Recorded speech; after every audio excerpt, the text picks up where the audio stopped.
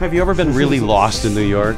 Um, I actually that that title came because I was in Home Alone 2: Lost in New York. I was like Macaulay Culkin's uh, double. Oh, really? Yeah, when I was like 11 years old, and Is this for true? Really? and I, yeah, Oh, wow. and. I was like, and when I was making that album, it kind of made sense because I did feel lost in New York. uh-huh. Um, I've just, I, like I said, I was born and raised in New York and never lived anywhere else. So I was kind of like going through a little lost in New York headspace.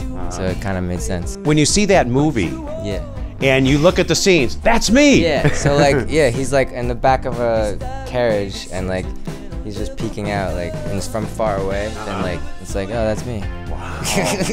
I didn't know you were a major movie star. yeah. So it was just weird. And like, you know, my parents like kept the money and like used it for my college and uh-huh. everything. So. It was Yeah, my friend uh, Christian White, uh, his his original home was across the street from that home Ah, in the right, suburbs. Right. Yeah, the first one is from is in Chicago. Yeah. Yeah. Yeah. So it's sort of cool having these movie connections. You ever think of doing that again, or is just music is your thing now? Um, music is kind of the thing that I can do best. So I kind of just like was like, let me just stay with what I know and do that. Well, you're doing it really Yeah. well.